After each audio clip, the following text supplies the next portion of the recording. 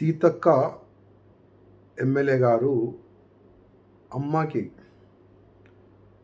Blood అవసరం ఉంటే హైదరాబాద్ హాస్పిటల్లో వాళ్ళమ్మ ట్రీట్మెంట్ నడుస్తుంది. వాళ్ళమ్మకి బ్లడ్ అవసరం ఉంటే ములుగు కలెక్టర్ నుంచి పర్మిషన్ తీసుకొని సీతక్క అంచెలు హైదరాబాద్కి బయలుదేరితే మధ్యలో డీసీపీ మేడం గారు ఆపేసినారు. వాళ్ళకి పర్మిషన్ ఉన్నప్పుడు ఎందుకు ఆపినారని నా క్వశ్చన్ కనీసం మానత్వం అసలు ఆ డీసీపీ మేడంలో ఉందా లేదా నేను వాళ్ళు అడుగుతున్నా. వాళ్ళమ్మ హెల్త్ బాగలేదు అమ్మకి రక్తం ఏనికి కూడా వెళ్తున్నారు ఎమ్మెల్యే గారు మాట్లాడిన తర్వాత కూడా పోలీస్ అధికారులు డీసీపీ మేడం వింటలేదంటే ఇది ఏదైనా పర్సనల్ టార్గెటా అని నేను ఇవాళ అడుగుతున్నా. ఇవాళ రోడ్లు పైన వితౌట్ పర్మిషన్ చాలా అంటే చాలా బండ్లు అటు ఇటు తిరుగుతున్నాయి. వాళ్ళకి చూడకుండా పర్మిషన్ ఉన్న ఈ బండికి ఆపుతున్నారు వాళ్ళు చెప్తున్నారు కూడా.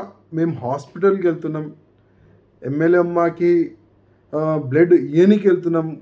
చెప్పిన తర్వాత కూడా వాళ్ళకి ఇబ్బంది పెడుతున్నారంటే ఇది పర్సనల్ టార్గెట్ అని నేను అనుకుంటున్నా. అసలు పర్సనల్ టార్గెట్ ఎప్పుడు చేయాలంటే ఎలక్షన్ సమయంలో చేయాలి. దాని తర్వాత ఒక మానత్వం చూపెట్టాలి.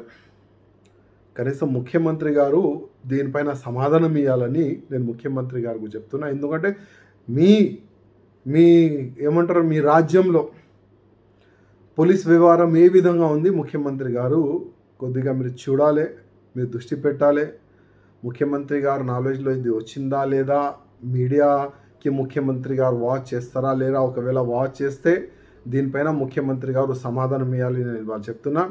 ఇంకా సీతక్క అమ్మకి హెల్త్ బాగాలేదని సీతక్క చెప్తుంది. నేను మీడియాలో చూసిన తర్వాత వాళ్ళమ్మ బాగుండాలి మంచిగా అయిపోవాలి ఇమ్మీడియట్గా ఆ దేవుడితో నేను కోరుతున్నాను. అదేవిధంగా సీతక్కకి ఎట్లాంటి కూడా ఇబ్బంది రాకుండా వాళ్ళ ఫ్యామిలీ మెంబర్స్కి ఇమ్మీడియట్గా హాస్పిటల్ పోయేలాగా వ్యవస్థ చేయాలని నేను ముఖ్యమంత్రి గారికి కోరుతున్నాను.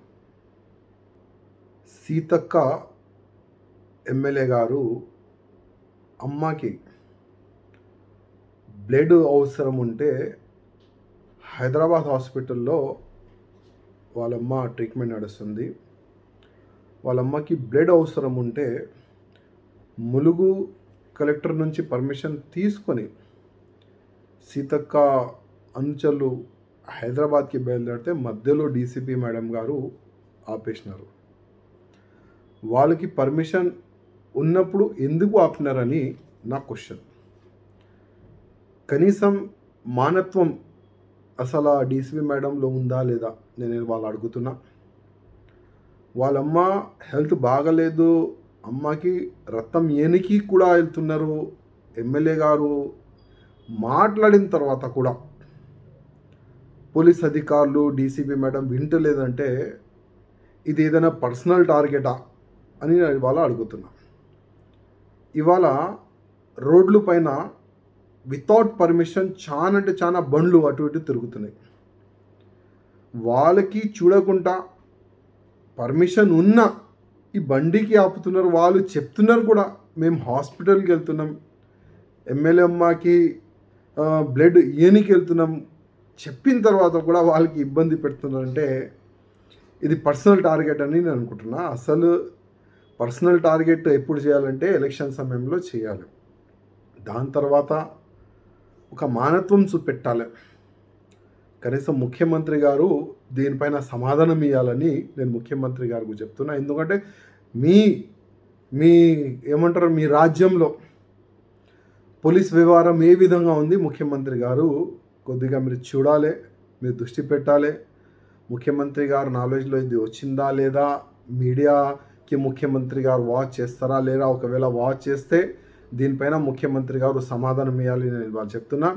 ఇంకా సీతక్క అమ్మకి హెల్త్ బాగాలేదని సీతక్క చెప్తుంది. నేను మీడియాలో చూసిన తర్వాత వాళ్ళమ్మ బాగుండాలి మంచిగా అయిపోవాలి ఇమ్మీడియట్గా ఆ దేవుడితో నేను కోరుతున్నాను. అదేవిధంగా సీతక్కకి ఎట్లాంటి కూడా ఇబ్బంది రాకుండా వాళ్ళ ఫ్యామిలీ మెంబర్స్కి ఇమ్మీడియట్గా హాస్పిటల్ పోయేలాగా వ్యవస్థ చేయాలని నేను ముఖ్యమంత్రి గారికి కోరుతున్నాను.